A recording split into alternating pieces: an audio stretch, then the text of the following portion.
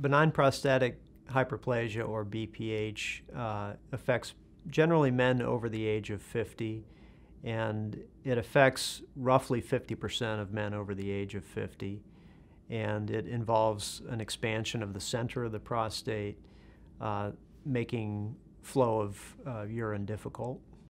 Men should really only be concerned about BPH if they have symptoms from it. BPH isn't something that we screen a non symptomatic population for.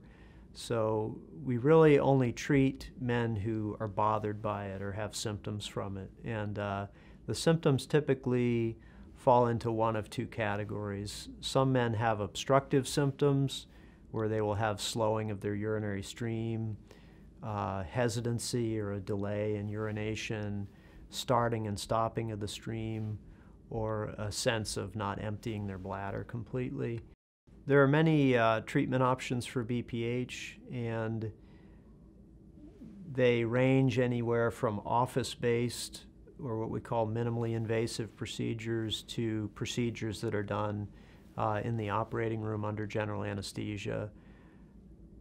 Obviously, the all, uh, other treatment options would be observation, meaning doing nothing and just living with the symptoms. That's an option for many men. Uh, medications, which come in, in different varieties. There's, there's two major types of prostate medications. Um, or uh, procedures would be the, the third class of treatments. Most of the procedures to treat BPH are designed to either remove or destroy the overgrown tissue. Um, and, and there's a number of different ways of destroying prostate tissue, and usually it's done with some sort of energy. Um, and the different types of treatment would be uh, microwave energy, um, energy produced by the condensation of steam to water, uh, laser energy, um, electrical current, um, or sometimes uh, cutting off the blood supply to the prostate to actually shrink the prostate that way. Um, so most of the procedures are designed to destroy or remove prostate tissue. So uh, HOLEP is uh, an acronym which stands for holmium laser enucleation of the prostate. And that's a procedure that uh, was developed in uh, New Zealand in the 1990s and then subsequently has made its way to the United States. And it it uh, represents about 4% of all enlarged prostate surgeries that are done. Uh, it's a little bit unusual in that there's not many people that do it uh, because not too many people have been trained on it. And um, it, it essentially removes the center of the prostate or the overgrown portion of the prostate. And uh, it gives the most complete removal of prostate tissue of any of the procedures available.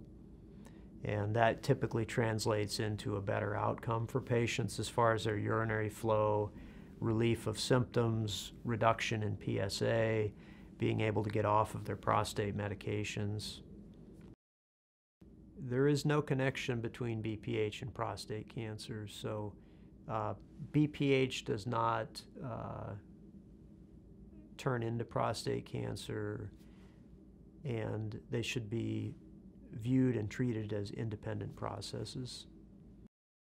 If, if a man comes in with an elevated PSA level, it does not necessarily mean that they have prostate cancer. And, and in fact, PSA is probably a better predictor of prostate size than it is the presence of prostate cancer. So um, it's important that a man with an elevated PSA sees a urologist, has an appropriate evaluation with a, a, rectal exam, and then the decision is made as to whether a biopsy is appropriate or not. The uh, American Urological Association currently recommends routine prostate cancer screening with PSA uh, between the ages of 55 and 69. So that is the current recommendations for, for all men. Uh, now, there are certain men that will benefit from screening between the ages of 40 and 55, and that would be men who are at an increased risk of, of having an aggressive prostate cancer, which would be uh, men with a strong family history of prostate cancer, uh, which would be um, one or two first degree relatives like your dad or your brother, or sometimes both have had prostate cancer, uh, or African Americans are encouraged to have a baseline PSA uh, younger than 55 to at least establish a baseline uh, because African Americans have been known to have more aggressive forms of prostate cancer. Uh, there's probably little value in screening the entire population over the age of 70 for prostate cancer. Um, exceptions to that would be men who you're already following who have an elevated PSA. Um, stopping screening over the age of 70 uh, is generally for men who have a, a low normal PSA.